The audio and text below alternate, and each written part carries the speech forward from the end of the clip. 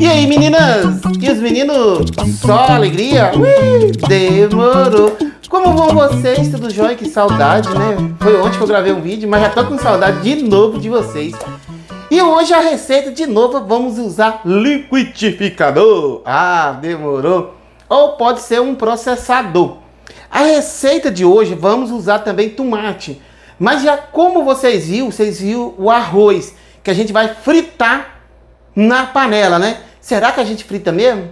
Acompanhe o vídeo até o final, você vai ficar surpreendido com essa receita no final. Vamos colocar 100 ml de água no liquidificador. Um dente de alho pequeno, meu dente de alho é muito grande, então vou partir no meio. Um dente de alho pequeno. Vou pegar aqui, ó, essa cebola, partir no meio, vou partir no meio de novo Vamos colocar somente um pedaço de cebola. Vamos colocar dois tomates. É, os tomates meu, como que eu faço? Ó, eu passo, deixa eu mostrar aqui para vocês aqui, ó. Eu passo no meio. Passo de novo no meio. Esses tomates vem um talo no meio. Não utilize esse talo, porque não, assim, se você come de tudo, tudo bem. Mas eu sempre tiro esses talinhos aqui, ó. Que eu acho assim que é meio grosso, né? Sei lá. Vê que vai bater no indicador, não tem problema, mas eu gosto de tirar. E o nosso tomate já está higienizado. Então são dois tomates grandes. E vamos bater aqui.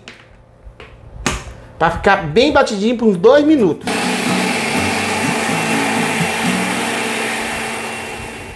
Depois que você bate bem, a gente vai reservar. E aqui a gente vai precisar de três dentes de alho pequeno, três dentes de alho médio. Como meus dentes de alho tá grande, eu vou usar um. Olha o tamanho dos dentes de alho, gente. Que que é isso? Então eu vou usar um e meio, mas é 3 a 4 dentes de alho pequeno. Aqui agora a gente vai cortar em filete. Você pode cortar assim no meio, por exemplo. Aí você vem cá assim sem, em filetinho, ó. Alho picado em filete. A metade daquela cebola que tava ali, a gente vai picar ela também. Não vai usar toda a cebola, né? Que sobrou um pedacinho ainda, né? Vou usar somente essa metade aqui, ó. A gente pica bem miudinho.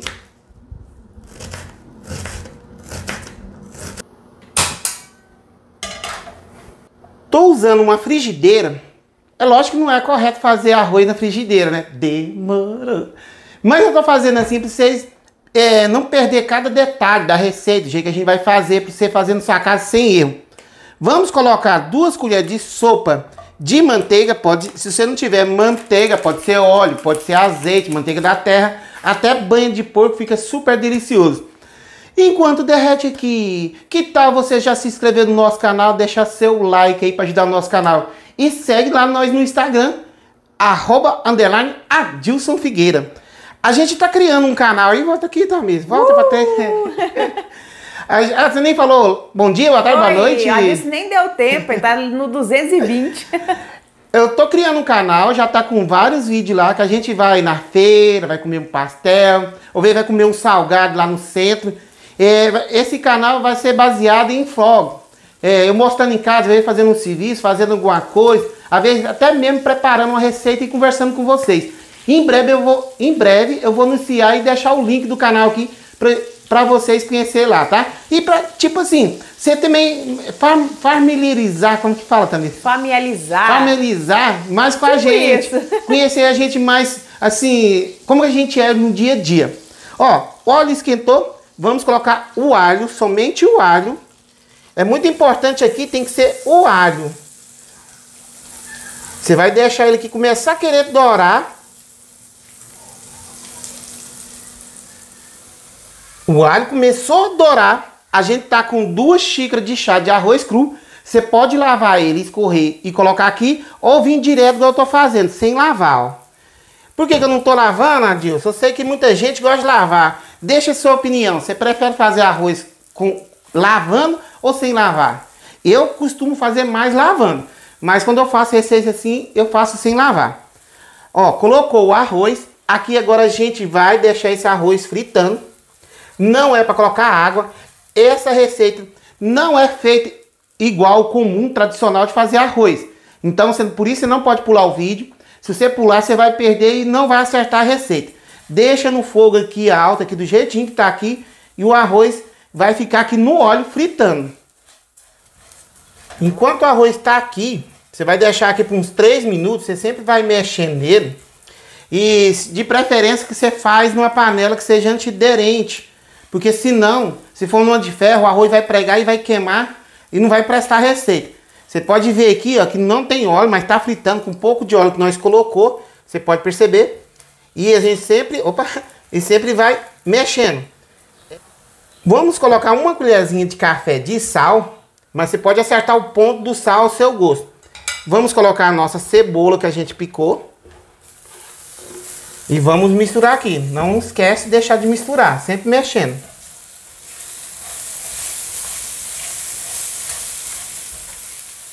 Qual que é o ponto ideal que você falar assim, já tá bom, que a gente já pode prosseguir com a nossa receita?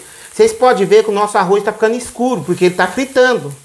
Esse ponto aqui, então, chegou nesse ponto, já tá bom, que já deu já dois, três minutos. Aí você vai vir com aquele líquido de tomate que a gente colocou aqui, ó. Mistura. Não põe água. Aqui você vai abaixar o fogo, deixa no fogo baixo, mexe bastante.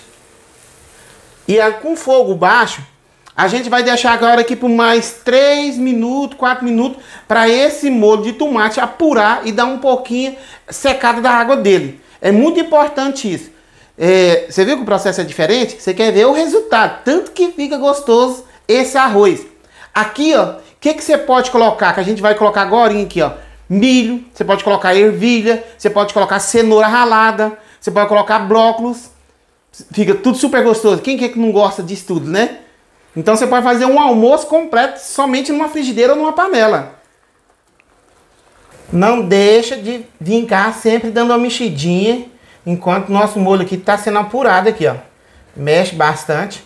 Enquanto tá aqui no fogo, como eu vou usar milho, mas você pode usar ervilha, cenoura ralada ou outro tipo de legume que você gosta para colocar ali. Ó, como vocês podem perceber, já está secando a água, a água secou daquele molho. Vamos colocar nossa latinha de milho. Você pode colocar espiga de milho fresco, se tiver. Umas três espigas de milho. Vamos mexer. Nesse ponto aqui você já pode experimentar para ver se está bom de sal. E acertar o ponto do sal. Se gostar de alguma pimentinha, pode colocar. Aí quando chega nesse ponto, agora a gente vai colocar água. A minha água eu fervi para adiantar o processo. Vamos cobrir o arroz todinho aqui com essa água. Cobrir o arroz. Vem cá de novo, novamente, você mexe. Vou colocar mais um pouquinho d'água. Já experimentei de sal, tá bom. Vamos tampar. Então é muito importante que tem tampa e vamos deixar aqui até essa água secar. Eu vou mostrando ponto ponto. ponto ponto. Eu vou mostrando passo a passo para vocês, vocês não errar, porque não é só colocar aqui e fazer igual arroz também não, porque o arroz foi frito, então o cozimento dele é diferente. E você já foi lá no canal da Tamires Figueira? Não. Uai, demorou. E aí, Tamires? E aí? Convida ou não convida? Gente, convida. a gente será o maior prazer, a maior alegria receber vocês lá no canal da Tamires Figueira com vários vídeos bacana, não só receita, como tem dica para casa, para beleza e para cabelo.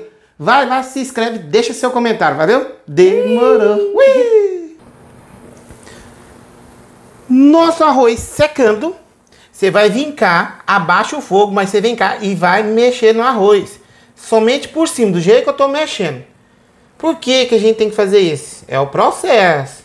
Mexeu, aí você Coloca assim de novo bem esparramadinho, com fogo baixo. Vai colocar um trisquinho de arroz ou de água, ó, 50 ml, pronto. E vamos tampar. E agora vamos esperar terminar de secar. Mas antes vamos colocar cheiro verde a gosto aqui, ó.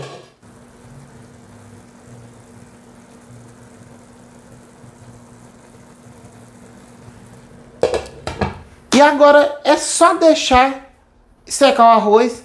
E Não sei se vocês já comeram, já fez arroz assim. Queria saber se você já fez. Isso aqui é uma receita mais ou menos mexicana. É lógico que lá faz um pouco diferente, mas eu adaptei aqui para o nosso Brasil. Ui, demorou. Nosso arroz está pronto. Olha como que ele ficou. Ele não ficou grudado, nem ficou papa. Tá perfeito. Já experimentei antes da água secar, lógico, né? O sal tava bom. Olha como que eu tô mexendo nele, que tanque tá certinho. Agora a gente vai desligar e vamos servir. Aqui por cima, para ficar mais gostoso, você que chegou até aqui, você pode dar uma polvilhada de 150 a 200 gramas de queijo ou mussarela ralado. Ó, vou falar para você, fica top. Aí muita gente eu sei que gosta assim, Adilson, eu queria colocar uma carne aí, que qual carne que eu posso usar? Você pode usar carne seca, carne de jabá, carne frango, né? Fica top. Ó, já desliguei aqui. É, agora vamos tampar, né? Porque pra, senão esfria. Porque tem mais gente aqui para comer. Ui, demorou.